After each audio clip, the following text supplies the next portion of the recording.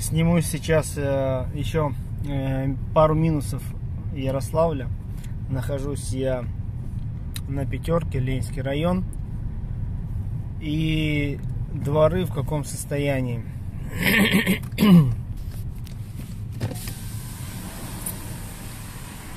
Вот если посмотреть вот этот двор, видите, весь грязный, дороги там непонятно какие, лужи, при... машины нормально не могут там припарковаться. Вот тут деревья что-то валяются, то упали эти ветки. То есть вот пройдешь, весь будешь в грязи просто. Это ладно, дальше поехали.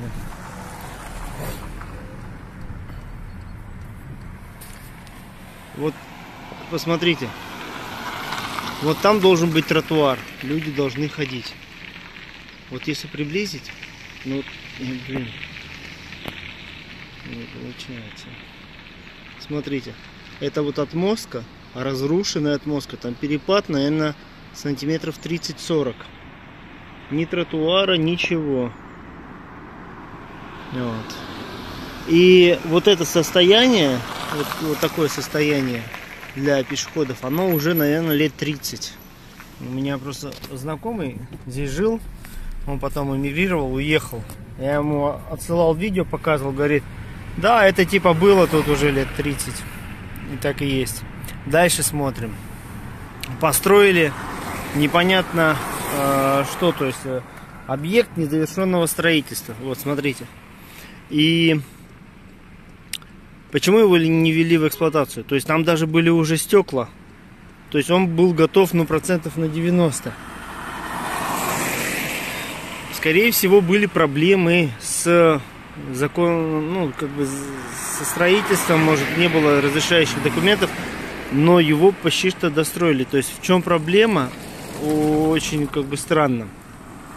Если у него не было документов на строительство, да, но его построили тоже, ну как бы за это отвечает администрация, она должна смотреть, где кто строит. Потому что ни один объект коммерческий, который вот все уже, даже стекла вставлены там на 95% введен в эксплуатацию, там его выделить еще 5% на достройку никаких проблем нету. И во что он превратился. Но это вообще, вот даже власти, что не могли помочь ввести этот объект в эксплуатацию, ну, честно говоря, стыдно. Потом, посмотрите, в каком состоянии площадка мусорная.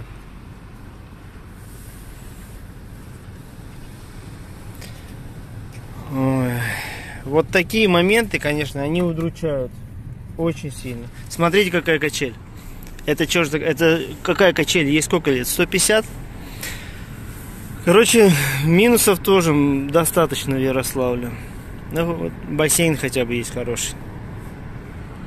И вот, вот такие э, минусы, они очень сильно в, бросаются в глаза.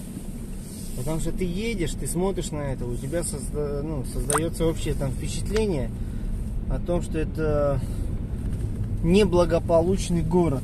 А это центр Золотого кольца, городу, которому больше тысячи лет. И содержать его вот в таком состоянии, это, конечно, печально. Когда ты приезжаешь там, в Москву и смотришь, э, как перестилают новый асфальт, меняют его на новый асфальт, ну, это вообще, конечно, трэш. Конечно, у нас в Ярославле такое иногда тоже встречается, но реже. Например, в этом году меняли асфальт в центре, там, на Кирова, Кировском районе, в самом центре. И я смотрю, асфальт ну, в прекрасном состоянии, или там Московский проспект. Его меняют на новый. Да куча разбитых дорог и улиц в городе, чтобы их надо приводить в первую очередь в порядок. То есть надо отсортировать э, дороги, в каком где они состоянии, и там, где самое печальное состояние, их в первую очередь приводить в порядок. Это то же самое, что убираются и чистят только самый центр дороги около мэрии. Вот мы сейчас едем по Чехово.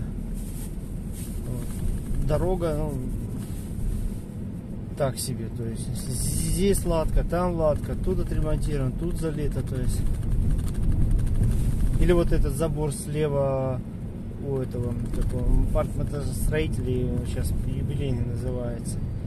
Э, забор привести ведь в порядок надо. Где-то голосование было, что хотели его отреставрировать, но вот до сих пор дорогой едешь, весь болтается, шалтает.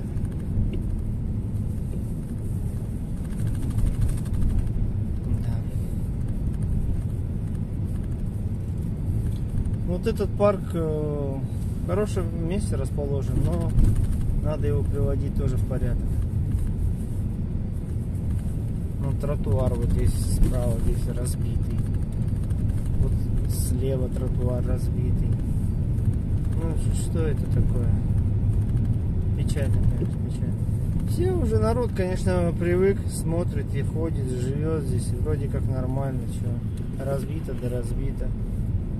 А он даже народ и не понимает, что может быть красиво, может быть хорошо. Ну, то как будто так и должно быть.